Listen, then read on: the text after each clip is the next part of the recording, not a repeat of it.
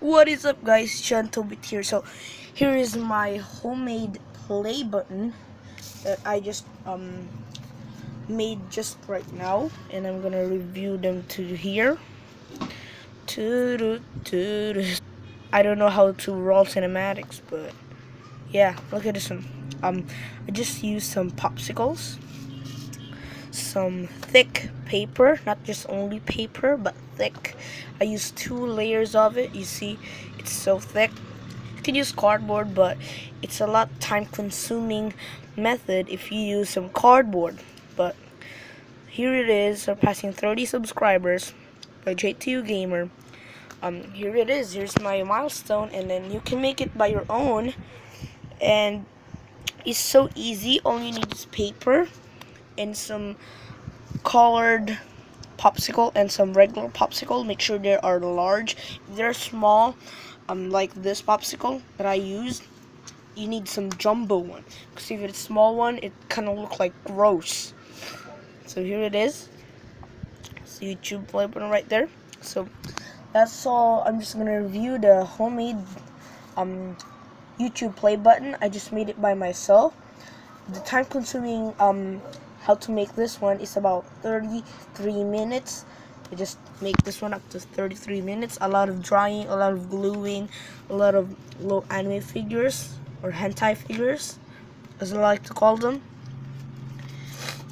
And don't use hot glue to this one. All you need is some all-purpose glue which is can stick to plastic wood arts and crafts vinyl and etc make sure there's oh they also stick to concrete as well. So which is kind of don't use some mighty bond hot glue because they kind of break easily and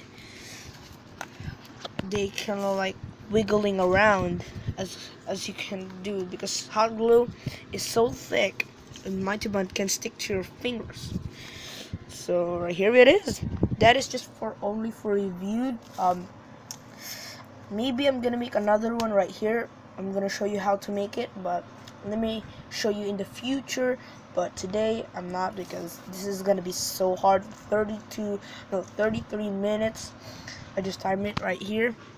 This is so um I'm proud of myself by just look at this one. This is like 3D I wish you could touch it. Look at that.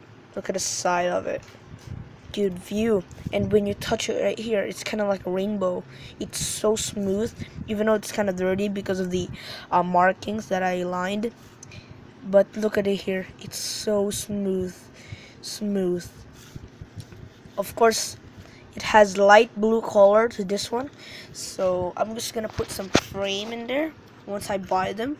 And yeah here it is. Is reviewing for the homemade play button, YouTube play button. So see you guys next time. Peace out for another new video. Peace.